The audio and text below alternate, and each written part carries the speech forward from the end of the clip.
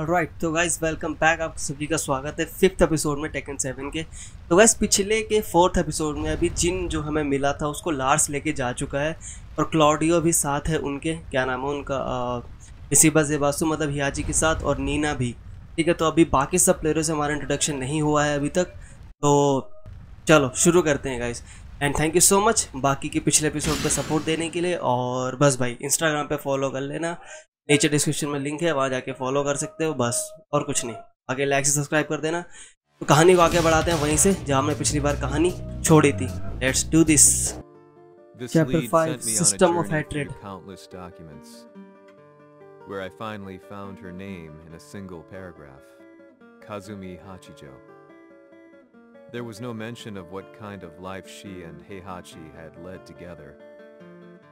But it confirmed that Heihachi was Kazuya's father and Kazumi his mother. Yes.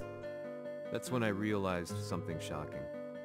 The year Heihachi seized control from Jinpachi and established the Zaibatsu was the same year his wife Kazumi had died, and Kazuya had fallen from a cliff, sustaining terrible injuries. What could all this mean? Okay तो उसी वक्त काजूमी भी death हो गई थी उसकी। को याद है अभी तक? उसको फेंक दिया था नीचे।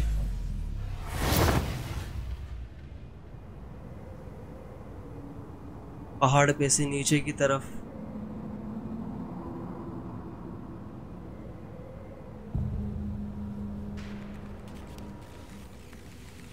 मरता नहीं है पर ये।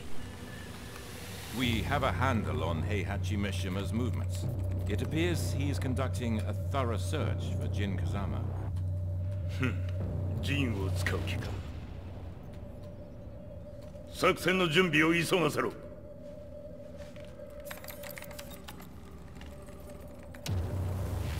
okay